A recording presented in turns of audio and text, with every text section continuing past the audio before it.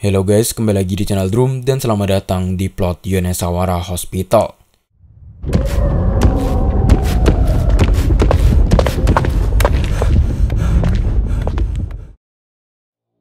Melihat game horror asal Jepang yang mengusung gameplay first person, kebanyakan orang biasanya langsung mengira game itu sebagai game buatan Cilas Art. Namun bukannya Cilas Art, Yonesawara Hospital yang dirilis pada tanggal 19 Agustus tahun 2022 untuk PC digarap oleh developer indie lain bernama Dorsalvin Studio. Sang tokoh utama tidak memiliki nama, untuk itu mari kita namai dia Bang, nama MC Takemichi. Oke, kita sebut si tokoh utama sebagai Maeda.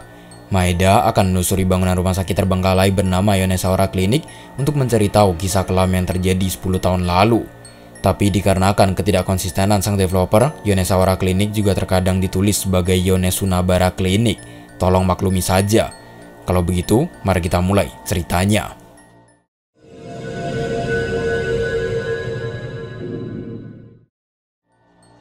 Musim dingin 10 tahun lalu adalah hari yang kelam bagi klinik Yonesawara. Sang direktur bernama Sosuke dikabarkan menghilang tanpa jejak. Bahkan setelah melalui proses investigasi, pihak kepolisian tidak menemukan adanya tanda-tanda terjadinya kecelakaan, seolah sang direktur menghilang di telan bumi. Sebagai akibat dari menghilangnya Sosuke, klinik Yonesawara pun ditutup dan ditinggalkan, menjadikannya sebagai bangunan terbengkalai.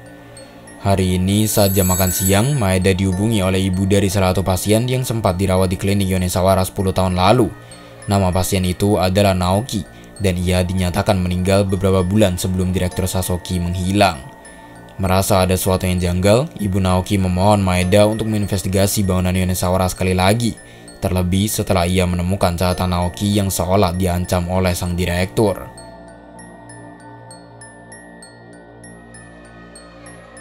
Maeda yang tidak dijelaskan profesinya, kemungkinan detektif atau polisi yang terlibat dalam proses investigasi klinik Yonesawara 10 tahun lalu, memutuskan untuk menuruti keinginan ibu Naoki.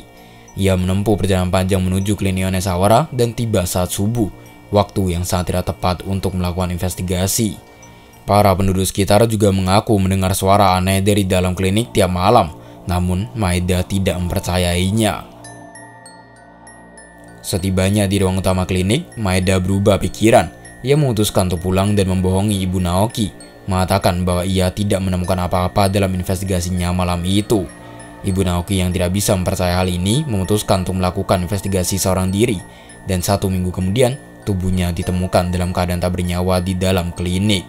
Keputusan yang bijak dan tepat. Tamat. Sekian video pembahasan game Yonesaura Hospital. Itu adalah satu dari tiga ending yang dihadirkan pada game Yonesaura Hospital. Tentu, untuk mendalami apa yang sebenarnya terjadi 10 tahun lalu, Maeda harus menjelajahi seisi klinik. Mulai dari membuka pintu, membuka pintu, membuka pintu. Wih, ada tuna chicken. Itu ikan apa ayam ya?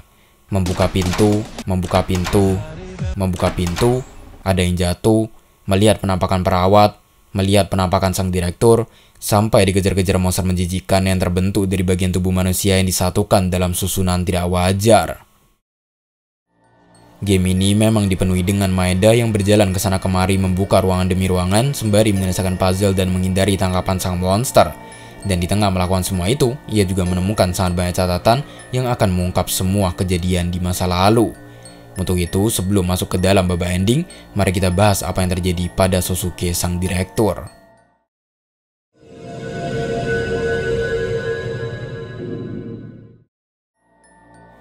Sebagai direktur klinik Yonesawara, Sosuke dikenal sebagai sosok dokter yang ramah dan baik hati. Dalam kehidupannya pribadi, ia memiliki seorang istri dan anak bernama Misako dan Kengo. Namun sayang, keduanya direnggut darinya di waktu yang bersamaan, entah karena kecelakaan atau hal lainnya. Yang pasti, kematian istri dan anaknya membuat Sosuke menjadi sosok yang berbeda. Pada tahun 1975, Sosuke yang memiliki hobi dalam mengoleksi barang antik dihubungi oleh temannya seorang pemilik toko antik. Dalam pertemuan mereka, temannya menunjukkan sebuah barang antik bernama Kongagaku, peralatan ritual zaman dahulu. Barang ini berbentuk seperti box musik berukuran besar dengan dua box kecil di dalamnya. Tertarik, Sosuke pun memutuskan untuk membeli Kongagaku tanpa mempedulikan kerusakan tembok klinik yang perlu diperbaiki.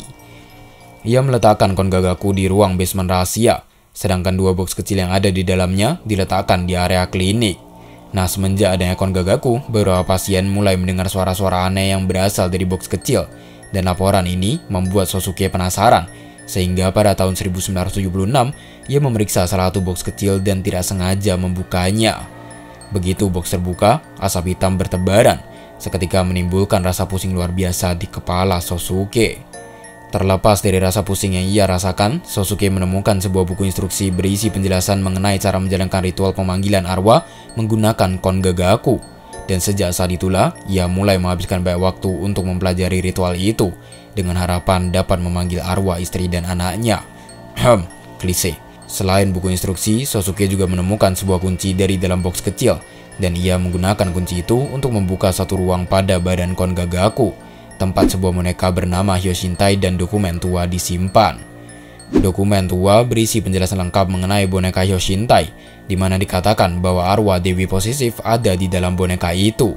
Untuk menjalankan ritual pemanggilan arwah, seseorang harus menghubungkan bagian tubuh manusia yang masih segar dengan boneka, mulai dari tangan, kaki, batang tubuh, sampai ke kepala. Dan semakin banyak yang dikorbankan, semakin baik. Setelah menjahit semua bagian tubuh pada boneka, hal terakhir yang diperlukan adalah jantung yang masih sehat. Dengan kesadaran penuh bahwa Kongagaku adalah barang yang sangat berbahaya, Sosuke tetap berusaha untuk memenuhi persyaratan yang diperlukan agar ritual dapat dijalankan. Ia memanfaatkan posisinya sebagai seorang dokter untuk mendapatkan bagian tubuh manusia, di mana tiap bagian tubuh yang diambil adalah milik pasiennya. Pada bulan Oktober tahun 1976, salah satu jari seorang pasien harus diamputasi, dan setelah proses amputasi berakhir, bukannya dibuang, jari itu malah disimpan oleh Sosuke untuk kemudian disatukan dengan Hyoshintai. Di luar dugaan, jari sang pasien bergerak sendiri, namun karena sudah tidak segar, jari itu berakhir membusuk dan menjadi tidak berguna. Sosuke yang merasa usahanya tidak akan sia-sia melanjutkan aksinya dengan melakukan hal serupa, yaitu diam-diam mengambil bagian tubuh pasien yang sudah tidak berguna lagi. Dan agar bagian tubuh yang diambil tidak membusuk, ia membangun ruang rahasia di area basement klinik untuk menampung lemari pendingin. Semua bagian tubuh manusia yang didapat akan disimpan di tempat itu. Mengambil bagian tubuh pasien yang sudah tidak digunakan akan memerlukan banyak waktu, karena tidak semua pasien mengalami penyakit atau pendarahan yang mengharuskan bagian tubuh tertentu mereka untuk diamputasi. Kondisi ini memaksa Sosuke untuk memikirkan cara lain, dan setelah menghabiskan waktu untuk berpikir, ide cemerlang pun muncul di kepalanya. Bagaimana jika ia memalsukan hasil diagnosis dokter dari tiap pasien? Bulan Oktober tahun 1977, seorang pasien yang hanya mengalami cedera kecil di bagian kaki kiri menjadi korban pertama atas kejahatan Sosuke. Sosuke memberitahu bahwa pembuluh darah arteri di bagian kaki kiri sang pasien tersumbat, tidak memberikan mereka pilihan lain selain melakukan amputasi. Percaya nyawanya akan terancam bila kaki kirinya tidak diamputasi, sang pasien mengumpulkan cukup keberanian untuk menjalani operasi itu. Dan setelah semuanya berakhir, ia merasa sangat lega dan berterima kasih pada Sosuke karena telah menyelamatkan nyawanya. Sosuke tidak lagi peduli akan reputasi kliniknya. Ia akan terus mencari kesempatan untuk mengambil bagian tubuh pasien yang masih segar. Dan hal ini dilakukan selama berbulan-bulan lamanya. Sampai pada tahun 1978, seorang perawat bernama Ishihara merasa curiga akan perilaku Sosuke yang kerap kali terlihat sedang melakukan sesuatu di dalam basement klinik. Takut rencana jahatnya terungkap, Sosuke pun membunuh perawat Ishihara dan menyimpan anggota badannya di area basement. Anggota badan perawat Ishihara adalah bagian terakhir yang ia butuhkan. Sekarang untuk menjalankan ritual diperlukan jantung yang sehat. Sosuke mengambil jantung milik seorang pasien bernama Naoki dan begitu kebutuhannya terpenuhi, ia pun menggabungkan semua bagian tubuh pasien pada boneka Hyoshintai. Untuk menghindari kecurigaan lebih lanjut, Sosuke meminta izin untuk mengambil cuti libur, dan dalam rentang waktu cutinya, ia menghabiskan waktu di dalam area basement untuk menjalankan ritual pemanggilan arwah. Namun, sejak melakukan ritual pemanggilan arwah, Sosuke menghilang dan tidak pernah terlihat lagi. Mendapat semua catatan penting ini, sang tokoh utama, Maeda membuka jalan rahasia yang berlokasi di basement klinik, tempat dia menemukan tubuh Sosuke yang telah membusuk dan sesosok monster di atas meja. Selain itu, Kongagaku juga ada di sana. Sampai di titik ini, nasib Maeda akan berakhir pada dua kemungkinan berbeda, tergantung dengan apa yang ia lakukan berikutnya.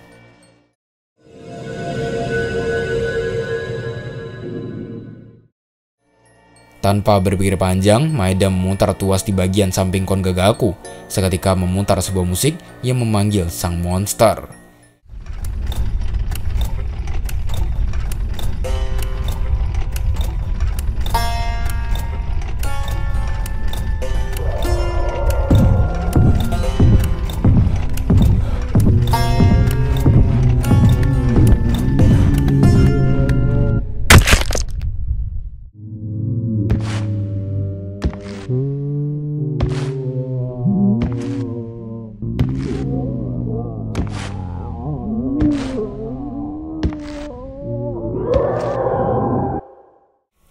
Maeda berakhir menyatu dengan monster.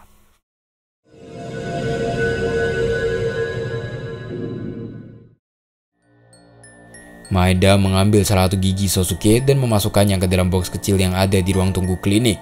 Box kecil terbuka dan di dalamnya terdapat sebuah dokumen tua dan label kayu. Label kayu dimasukkan ke dalam kongagaku dan saat tuas diputar, monster akan datang. Namun entah apa yang terjadi, tidak ada penjelasan apa pun dari gamenya, Maeda berhasil bertahan hidup. Ia menyerahkan dokumen tua pada seorang ahli penerjemah, dan terungkaplah bahwa Kongagaku adalah alat yang digunakan untuk menjalankan ritual pemanggilan Dewa Iblis bernama Oshiki Sama, bukan pemanggilan arwah orang mati. Dengan melakukan pengorbanan berupa bagian tubuh manusia yang kemudian disatukan dengan boneka Yoshintai menggunakan jahit, Oshiki Sama akan memasuki boneka itu, menciptakan sosok monster yang berakhir merenggut nyawa Sosuke dan mengejar Maeda di klinik. Setelah memberitahukan semua hal yang ia ketahui kepada Ibu Naoki, pekerjaan Maeda pun berakhir. Sebagai tambahan aja, di sepanjang game kalian juga bisa menemukan 4 volume majalah berisi kisah mengerikan sesosok makhluk bernama Masagoro yang berdiam di sebuah penginapan tua di Jepang. Berhasil mengumpulkan keempat majalah, inilah yang akan terjadi.